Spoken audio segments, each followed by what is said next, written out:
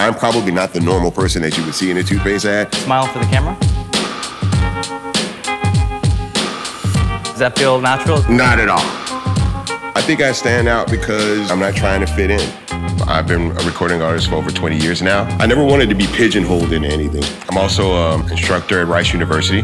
I released a hip hop coloring and activity book. I'm a husband, I'm a father. I have a food blog. A lot of people feel like I'm biting off more than I can chew. I'm proud of who I am. You know what I'm saying? Most of the guys that I work with, their teeth are golden. I think my smile is unique, pearly white to be exact. The music industry is kind of designed to take your confidence away from you. And the easiest way for us to stand out was to be original, bring something different and new to the music industry. And they've been successful. There's not going to be another person like me at all. So you better get it while you can.